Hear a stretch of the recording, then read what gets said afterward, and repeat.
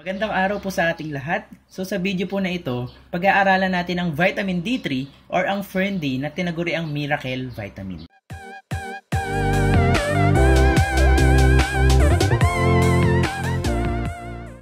Ang main objective ng presentation is to give information sa lahat ng viewers. Ito yung mga sasagutin natin na tanong. Number 1, what is Fern-D? Number 2, what are the functions and benefits of vitamin D? Number 3, how vitamin D kills COVID-19. The first question is, what is Fern-D? Fern-D is pure vitamin D3 na nanggaling sa DSM Switzerland. It is your daily dose of sunshine even without the sun. It means, kung ano ang vitamins na nakukuha natin sa sunlight, yun din ang binibigay ni Fern-D. Pero kung wala kang budget, pwede naman magpaaraw ka na lang. 15 minutes every day from 10 a.m. to 3 p.m. Pero dapat hubot-tubad.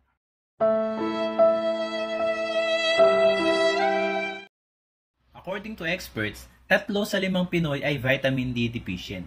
The reason kung bakit deficient na tayo, it is because of sun phobia. It means takot tayo magparaw kasi ayaw natin umitim. Sayang ang Rejuveset, sayang ang glutathione.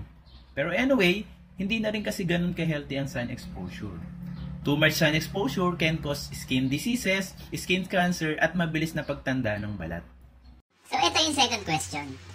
What are the functions and benefits of vitamin D? Vitamin D actually is a cell regulator. It means itinatama niya yung mali sa body system natin. Sa benefits naman, number one, it strengthens bones and muscles. Vitamin D increases calcium absorption para patibayan ang buto at muscles. Number two, it boosts immunity. So nakakalakas siya ng resistensya. Ito yung pruweba. Pansinin niyo yung mga batang laging nasa lansangan. Hindi sila sakitin kumpara sa mga batang lagi lang nasa bahay. Yung mga sanggol, pinapaarawan yan sa umaga para lumakas ang immune system. Kung nakakalakas ng immune system si vitamin D, ibig sabihin kaya niyang patayin si COVID-19.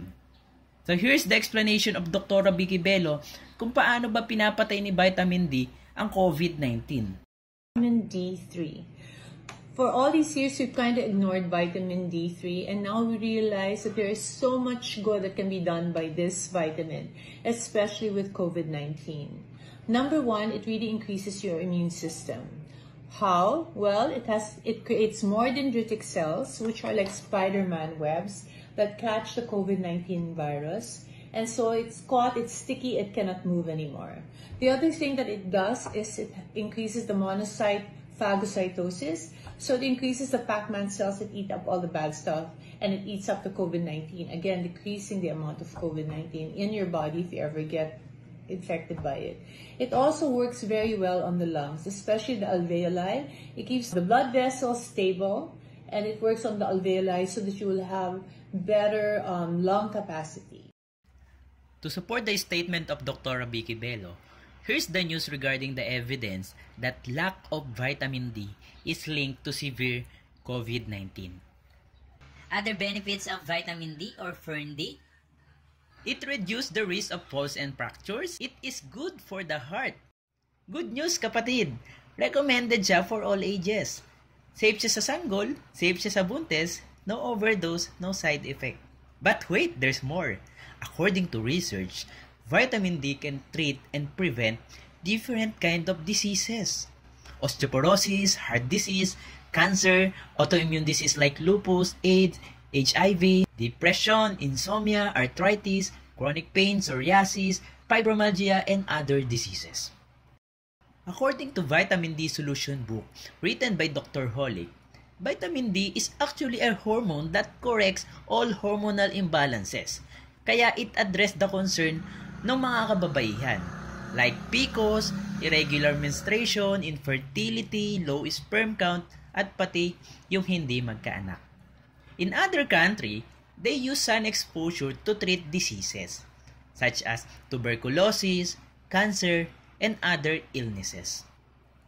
So final word na lang po, our Fern-D is approved therapeutic claim.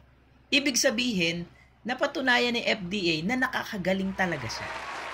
Ang Fern-D din po, kasama siya sa PPD or kung tawagin ay physician's book. Kaya po nire-recommenda siya ng mga doktor. So that's all for now. Sa next video natin, we will explain the recommended dosage, sasagutin natin yung mga frequently asked questions ng mga clients natin. Thank you very much! Don't forget to subscribe and click the notification bell para updated ka sa mga susunod pang video. So, I for na ko, mayaman kami, mayaman tayong lahat.